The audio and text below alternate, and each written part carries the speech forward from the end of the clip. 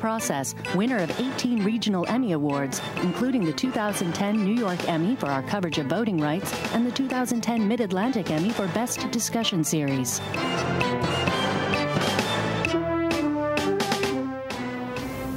Put this man in the hole. 90 days. Solitary confinement. We've seen it in the movies and on TV, but it's still a tool used for punishment and control inside New Jersey's prisons. Is it cruel and unusual? Is it necessary? And is it worth the human and monetary cost? That's next on this edition of Due Process. Major funding for due process provided by the New Jersey State Bar Foundation, committed to educating the public about the law. And by the Fund for New Jersey, supporting informed citizens for an effective democracy. Additional funding provided by the PSEG Foundation and the Thomas and Agnes Carvel Foundation.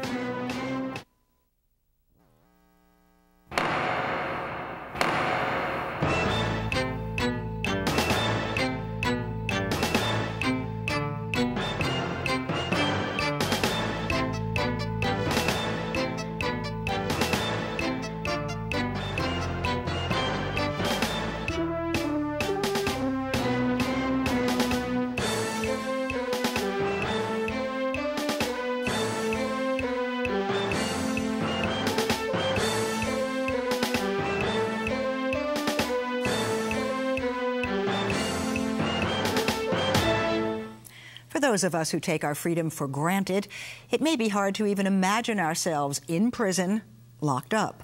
But if that's tough to contemplate, now imagine yourself confined to a cell, 23 hours of every day entirely alone. I'm Sandra King. Raymond Brown is off.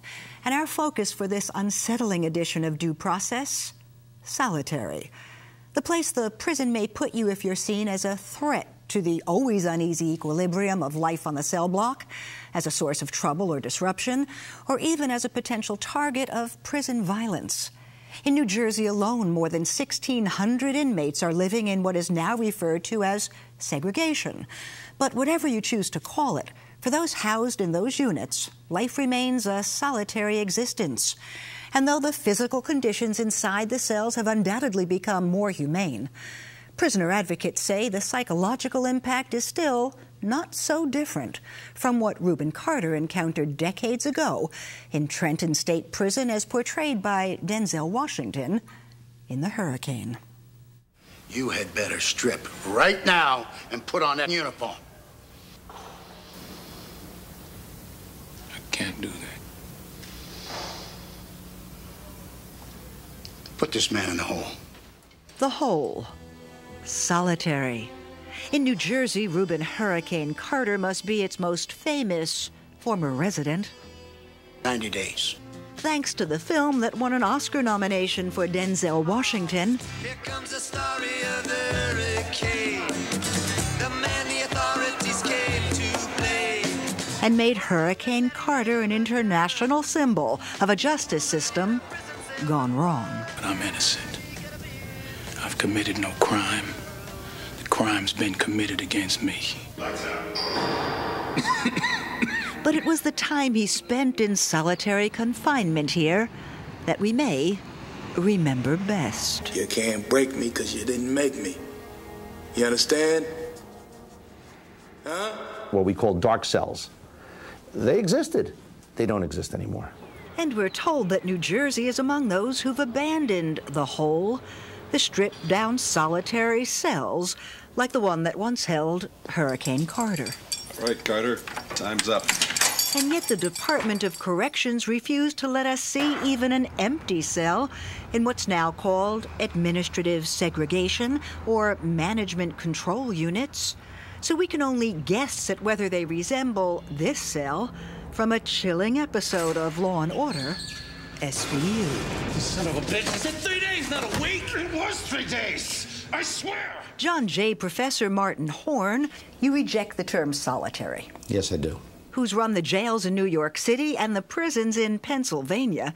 insists that old image of solitary is just no longer accurate. A stripped cell with no window. Are, does somebody use them?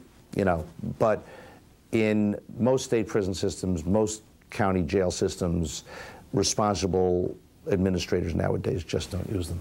I was going to jail by myself. Um, they, they had me on, a, they put me on no contact status, which means that uh, I can do anything with a group or, or another individual. But Ojore Lutalo's description of his own long-term experience in the New Jersey State Prison at Trenton paints a very different picture. Locked down 22 hours one day, 23 hours one day, 24 hours following day. Yeah, yeah. A sometimes artist, self professed anarchist, and one time member of the Black Liberation Army, convicted first in a bank robbery and later in a shootout with a drug dealer. Lutalo says he spent more than 20 years in Trenton's management control unit.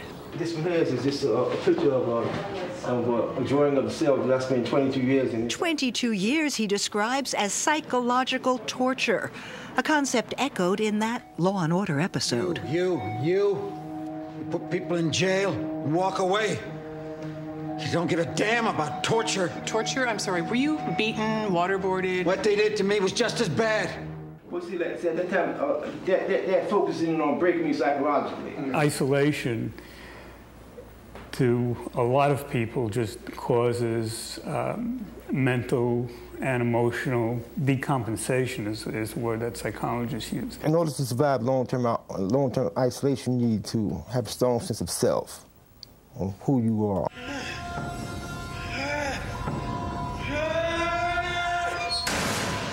And then I seen other people that, that's psychologically self-destruct, and I, and I was determined that wasn't going to happen to me. So I just created a cell program, what I call cell program, cell program to survive.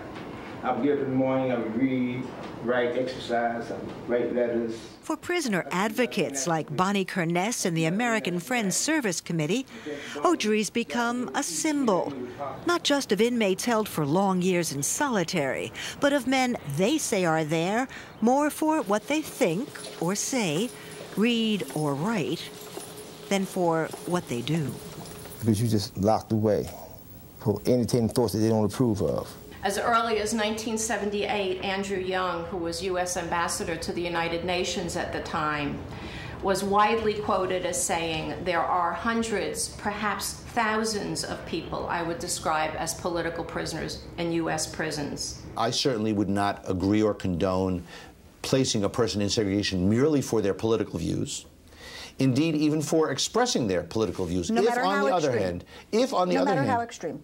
no matter how extreme. But the people who run prisons, including those in New Jersey who refuse to be interviewed for this report, say there are problem inmates, as many as 1,600 in New Jersey, who need to be in segregation either to protect them or to protect the prison from them. In the end, they just left me there. All that time alone. What was it like? Death. Except you're still breathing. And all you hear is the sound of that breath. For days, months, years. Does it really feel like a living death, or is that just so much Hollywood hype? And even if it is as brutal as what we heard and saw in that field piece, is it just a necessary evil, a tool that corrections officials have to use to keep their prisons under control? We'll put those questions and more to Jack Terhune, now Leonia Borough Administrator, whom we first met in the late 90s when he was New Jersey Commissioner of Corrections to Bonnie Kerness, who runs the Prison Watch Project for the American Friends Service Committee, whom we saw briefly in the field piece, and in Newark to Professor Alexander Reinert of Cardozo Law School, who teaches civil rights, prisoner rights, and the Constitution. Welcome to you all. Uh, Jack, let me start with you because you just sat through six minutes of hearing and seeing a description of administrative segregation, control units, whatever you want to call it, solitary as torture. Is that an accurate way to portray it? Uh, no, Sandy, I don't think it's torture. Uh, I think, uh, as you indicated, it's a necessary evil uh, to maintain the uh, orderly operation of the 13 prisons in the state of New Jersey. Um, we have 25,000 inmates that are incarcerated. Uh, that's probably larger than the average suburban community here in New Jersey. And anytime you have that many people, uh, whether it's in an institution or whether it's in a community, somebody is going to violate the rules. Somebody is going to break the law. So you use this as punishment? No, it's not punishment, although it can certainly be viewed by some as punishment. It's intended to amend behavior so that uh, the staff and the other inmates are not placed at risk by those that are prone to violent behavior. Uh, you got to remember, they all come to the prison system because they've been convicted of a criminal offense. Not all violence. It, it could be a nonviolent offense. But regrettably, out of uh, the total, some are there for very, very violent offenses. Their behavior is prone to violence, and that's what they're about. And whether they're inside an institution or whether they're out, they're prone to, uh, to violent behavior. Bonnie, 1,600 people in New Jersey prisons who need to be separated from the general population? There's a big difference between an administrative segregation unit, which is which are isolation units, the management control unit, um, and the security threat group management unit in New Jersey, which was recently closed. In terms of severity of condition? Administrative segregation units are for the purpose of punishment. A prisoner has committed an infraction and gets sentenced to an isolation unit. A finite amount of time. A finite amount of time. In the management control unit, people were placed there for their thoughts, for what the administration thought they could do if they wanted to. And ultimately, a court agreed, appointed a special master who released all of the people in the control unit except four people. The Security Threat Group Management Unit was purportedly to change the behavior of uh, people in street organizations. Um, but, and but, but, footage, the, the conditions, the conditions in the Security Threat Group Management Isolation Unit, uh, footage was gotten out. Um, by uh, one of the prisoners, and the footage was of horrendous Shocking. brutality. But, but bottom line, no matter which of those units you're in, do they not all have one thing in common, and that is that you are isolated You're from other isolated. people? The conditions are similar. And do you I think call the that reasons, torture? Do you call I, yes, isolation I torture? I call isolation torture, and the United States has signed the convention, United Nations Convention Against Torture. Uh, the uh, United States has signed the International Convention on Civil and Political Rights, and the United Nations agrees with me. The Center for Constitutional Rights has now filed suit on uh, what they call communications management units, and, which are isolation units across the country. And, and let me let me ask Alex. Firstly, is this torture, and is the U.S. on the receiving end of a whole lot of criticism, particularly from other first world countries, and is it justified? Well, the United States is certainly under a fair amount of criticism. It's, it's an outlier with respect to the extent to which it uses prisons and certainly to the extent at which it uses isolation units. Does Europe still have isolation units? In their I'm sorry? prisons? Europe. Do we still find isolation units there? Uh, generally, I think those have uh, been restricted, if not severely uh, limited. And, and I don't think any other uh, country that we would hold ourselves up to comparison would ever permit isolation to the extent that we permit it in the United States. That is, it's not just about using isolation units, it's about the length of the sentences in these units. And I, I do have to take one issue with what Jack said, which is uh, this isn't about prisoners who have been violent. It, some of the prisoners have been violent in prison. Some of them have put a piece of paper up that obscures the cell. Some of them were delusional, and a correction officer interpreted them as planning an escape when an escape was impossible. So there are all sorts of reasons that people end up in isolation units, and part of the problem is, is that there's a tremendous amount of deference to uh, prison officials, and, and courts have very little role in stepping in. So, are they good reasons? Why people wind up in these units? Well, I don't, I, I don't think one has to first ask uh, what's the purpose of these units. Uh, if the purpose is to help people deal with violent behavior, I don't think the units accomplish that purpose. There's no, I don't think there's any evidence that people in the units receive good anger management counseling, uh, receive access to loved ones that will help them deal with violence. So if that's the purpose, I don't think they're accomplishing that purpose. If the purpose is to get people to comply with prison rules, sometimes that works. Uh, but the more we control people, I guess to some extent, the more they will comply with rules. But at the same time, the more dehumanizing it becomes for them, and the more there are mental breakdowns, and also the more difficult it is for people to adjust when they're released from prison. And I think whenever we're talking about prison policies, we have to assume that people are going to be coming out on the street, and we want them to be able to be productive when they come out on the street. Alex, let me let me go back to Jack um, to ask about something that Alex said.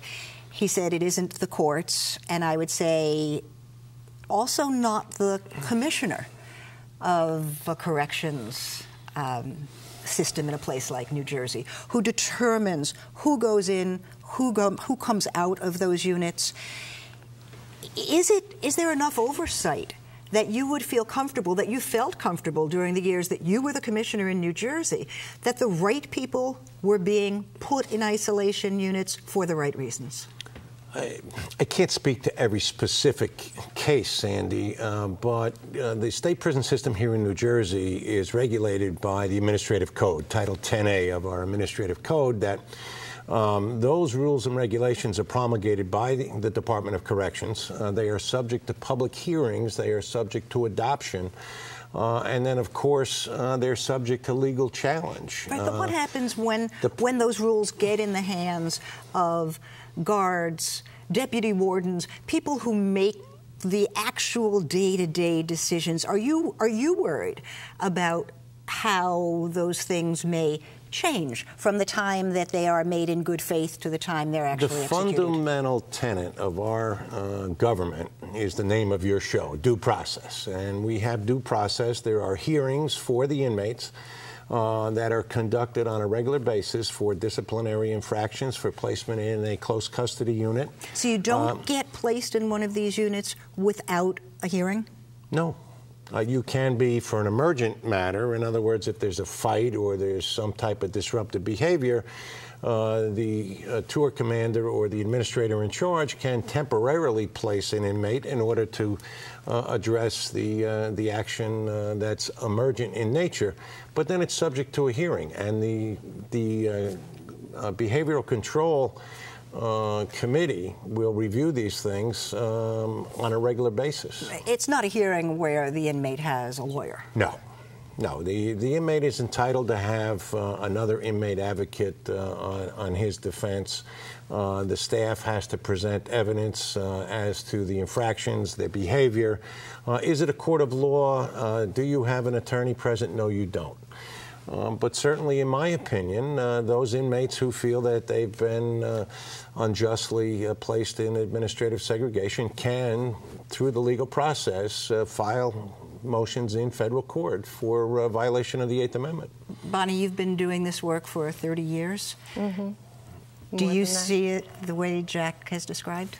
Uh, for me, the history of control units, and I'm not talking about punishment units, there's a difference. The history of control units was political.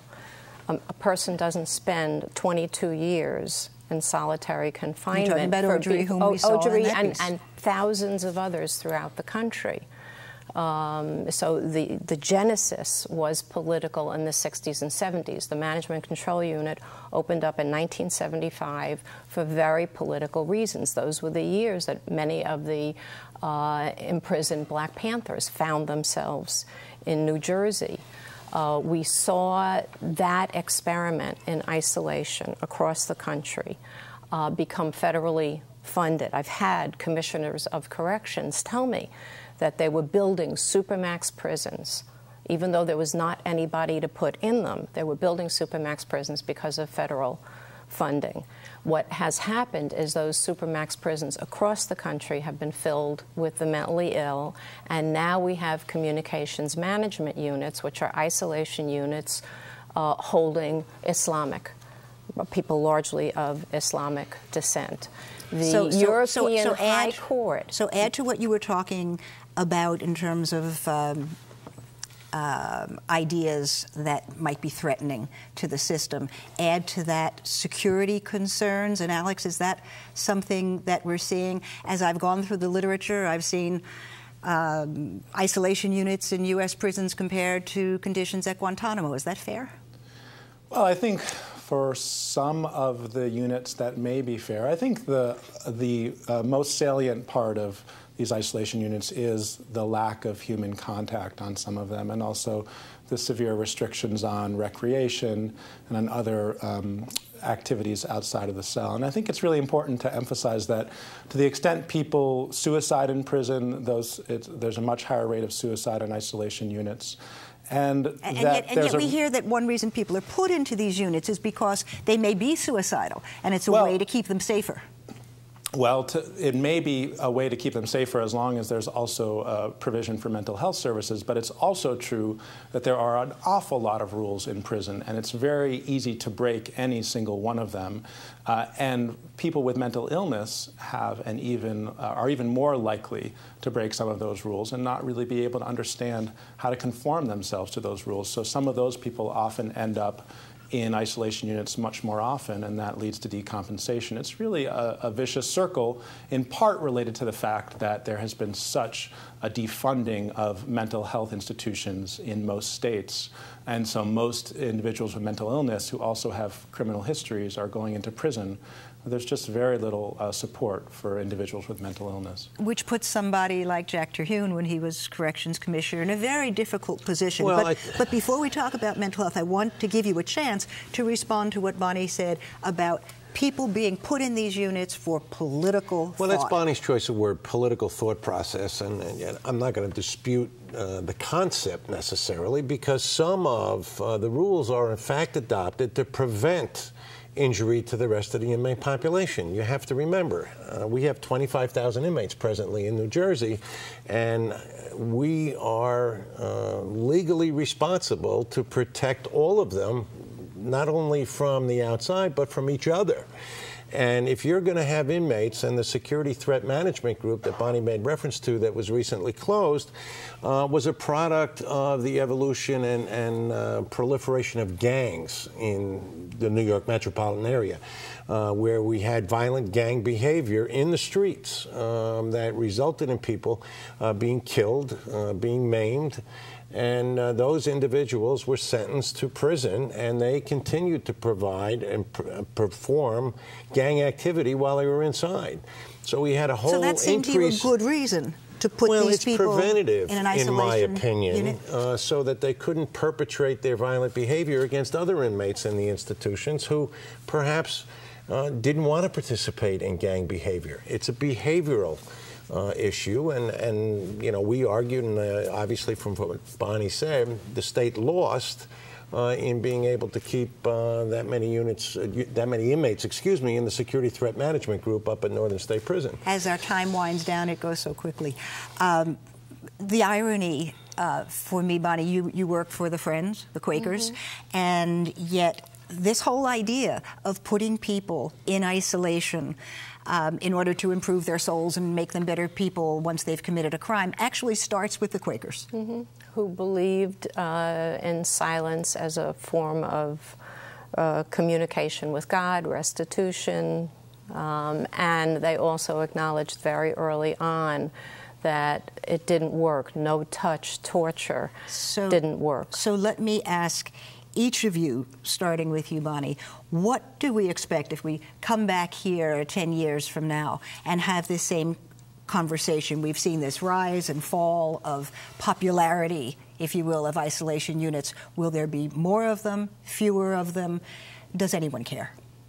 You can't give me a reason for the letters that come across my desk describing physical, emotional, and, Let me go and quick- chemical let me go torture. So there will be less. Alex? Well, I hope there will be fewer. I think I also hope we'll have a more rational criminal justice system that focuses on how people end up in prison and how we can help them when they get out of prison. And finally, with five seconds left, Jack, what do you expect? I said at the top of the show, regrettably, it's a necessary evil. Uh, I, I wish we could change everyone's behavior, but we have those that are disruptive, and you have to deal with it. Well, your behavior here has been great today. Thank you all. We are out of time, much too soon for this edition of Due Process, but my thanks to Bonnie Kerness, to Professor Alexander Reinert, and to former State Corrections Chief Jack Terhune for taking on a difficult and controversial subject. It's what we do best here on Due Process, so we hope you'll come back every week for our provocative look at law and social justice. Till then, for Raymond and all of us here, I'm Sandra King. Thanks for watching.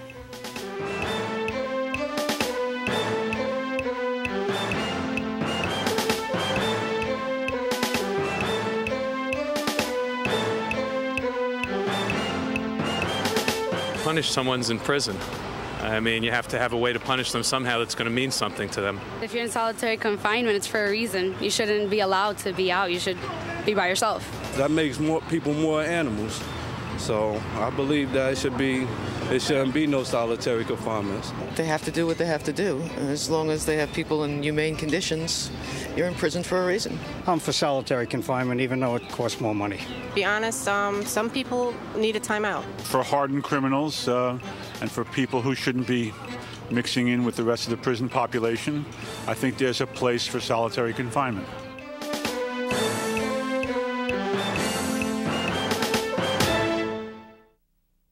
Major funding for due process provided by the New Jersey State Bar Foundation, committed to educating the public about the law.